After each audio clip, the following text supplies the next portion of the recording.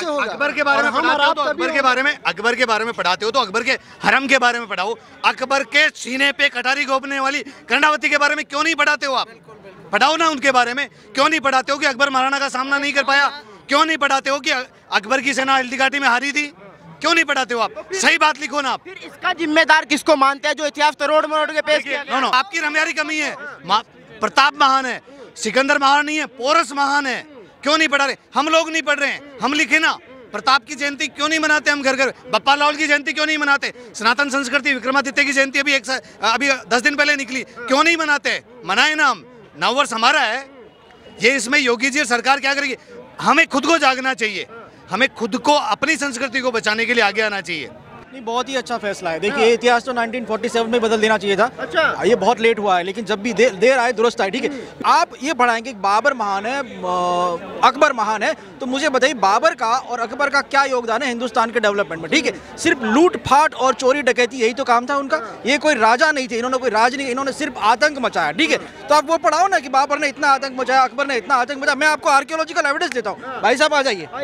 आ जाइए। अकबर का तो मार मकाया जाता है। हाँ मैं आपको बता दूँ देखिए जब बैरम खान अकबर का जो गुरु था, जहाँ मानते हैं ना आप उस चीज़ को, ठीक है, वो जब अकबर से ऐसे कह के चला, अकबर ने उसको निकाल दिया "अभी आप जाइए, मैं सत्ता संभालूँगा। जब वो गुजरात के पाटन के अंदर पहुँचा, जहाँ पे सहस्त्रलिंग तालाब है, जहाँ पे एक हज़ार शिव मंदिर का एक तालाब था, जो वहाँ के सिद्धराज जैसी जो सोलंकी राजा थे, उन्होंने बनाया था। उस तालाब के अंदर जब वो नौका विहार करा था, वहाँ की एक कन्या के साथ उसने छेड़खानी की, उसका रेप किया बैरम खान ने, ठीक है। ये आर्कियोलॉजिकल सर्वे ऑफ़ इंडिया के कल्चरल टैक्स में लिखा हुआ है।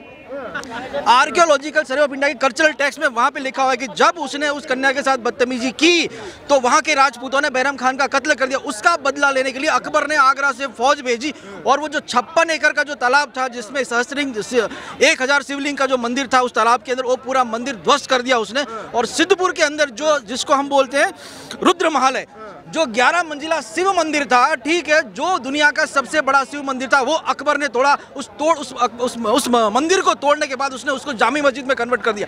क्या आप बताएँगे? ये आर्कियोलॉजिकल इतिहास है आप जाइए एविडेंस वहाँ पे देखिए मैं बोल रहा हूँ मैंने देखा हुआ है। कौन सा एविडेंस है?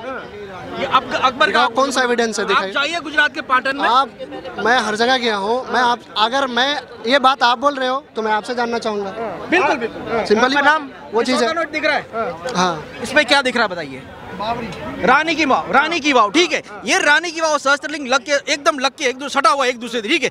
ये भी गाड़ दी गई। इसके अंदर विष्णु भगवान के दस अवतारों का मंजर है, ठीक है? ये मोदी जी ने छपा है इसको। ठीक है क्यों छपा? है? क्योंकि ये भारत का इतिहास है।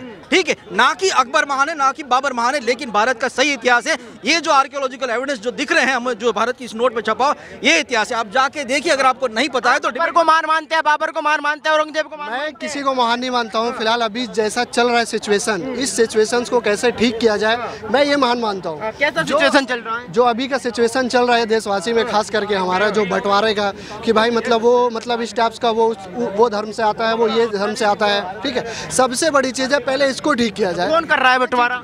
बंटवारा ये एक्चुअल में हम लोग आपस का माइंडसेट ये हो चुका है ठीक है? कि भाई मतलब वो इस तरह से किया था तो मैं इस तरह से करूँगा।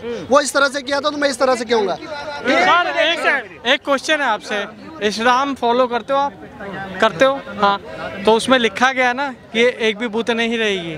लिखा है हाँ या ना? कहाँ पे लिखा है भाई? कौन सी आयत में लिखा है ये बता ये बताओ तो सही कुरान का जो है ना कुरान कुरान लिखा है आयत नंबर के साथ लिखा होता है। अगर कहीं पे लिखा है आप आयत नंबर बता दो। और अगर कुरान में से कहीं पे ये बात निकलती है तो मैं आपको बता दूँगा। दिखा दो कौन सी आयत में लिखा है कि कोई भूत नहीं रहेगा? सूर्य नंबर पाँच सर्च करिए।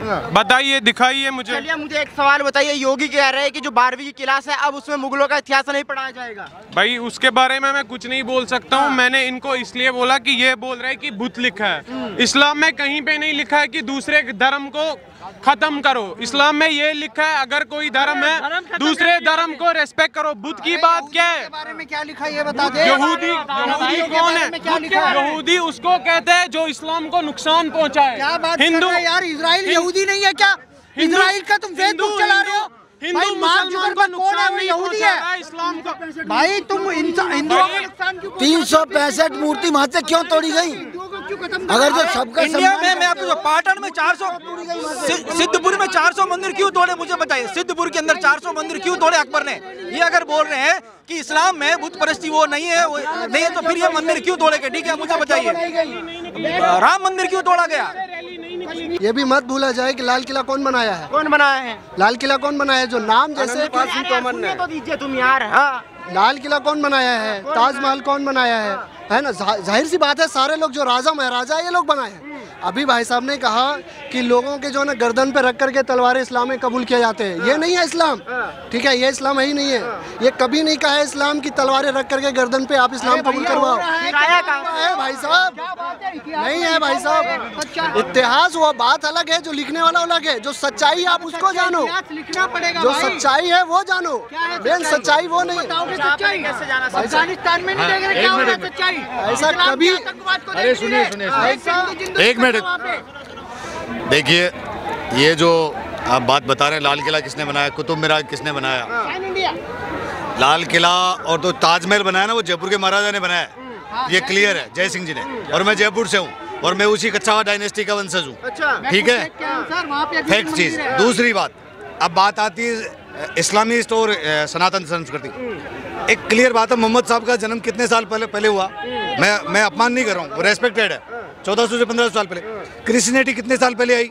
ढाई हज़ार साल पहले छब्बीस सौ साल पहले। क्लियर है? ये फैक्ट्स डाटा की बात कर रहे हैं अपन। किसी के धार्मिक वो नहीं कर रहे। सनातन संस्कृति कब से है? नौ दस हज़ार। पाँच हज़ार साल तो महाभारत को हुए हैं। बावन सौ साल। कृष्ण का जन्म बावन सौ साल का है। श्री राम का जन्म उनसे पहले है। मुगलों का कैसे हुआ? मुगलों का होना ही नहीं चाहिए। इतिहास तो सनातन संस्कृति इसराइल में क्या भारत का इतिहास पढ़ाते हैं? अमेरिका में क्या इंडिया का इतिहास पढ़ाते हैं? इजिप्ट में क्या इंडिया का इतिहास पढ़ाते हैं? हर एक देश में उस देश की संस्कृति बढ़ाते हैं। यहाँ पे पढ़ने की ज़रूरत है महाराणा प्रताप को। यहाँ पे पढ़ने की ज़रूरत है भगत सिंह महान क्यों पढ़ाया गया? किसने पढ़ाया? गलत है ना आपकी रमयारी कमी है। प्रताप महान है सिकंदर महान नहीं है पोरस महान है। क्यों नहीं पढ़ा रहे? हम लोग नहीं पढ़ रहे हैं। हम लिखे ना। प्रताप की जयंती क्यों नहीं मनाते हम घर घर बप्पा लाल की जयंती क्यों नहीं मनाते? सनातन संस्कृति विक्रमादित्य की जयंती अभी एक अभी दस दिन पहले निकली। क्यों नहीं मनाते? मनाए ना हम। नव वर्ष हमारा है। ये इसमें योगी जी और सरकार क्या करेगी? हमें खुद को जागना चाहिए। हमें खुद को, अपनी संस्कृति को बचाने के लिए आगे आना चाहिए। दूसरे पे किसी पे वो नहीं करना चाहिए। सबसे बड़ी चीज़ है भाई साहब ये एजुकेशन की बात ठीक है ना? सबसे एजुकेशन सिस्टम में सबसे बड़ी वीक है एजुकेशन और सिस्टम दोनों। यही तो सुधार रहे मेरे भाई। भारत और में ये सुधार ये सुधार ये सुधार किसी राजा और महाराजा से नहीं होगा। ये सुधार हम और आपसे होगा। अकबर के बारे में हम और आप तो अकबर के बारे में अकबर के बारे में पढ़ाते हो तो अकबर के हरम के बारे में पढ़ाओ। अकबर के सीने पे कटारी घोपने वाली कर्णावती के बारे में क्यों नहीं पढ़ाते हो आप?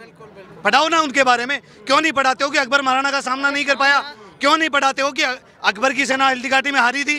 क्यों नहीं पढ़ाते हो आप? तो सही बात लिखो ना आप। फिर इसका जिम्मेदार किसको मानते हैं जो इतिहास तरोड़ रोड मरोड़ के पेश किया नो नो इस ये ये ये जो टोटल है ये वामपंथी इतिहासकार और उनको संरक्षण देने वाली राजनीतिक ताकतें।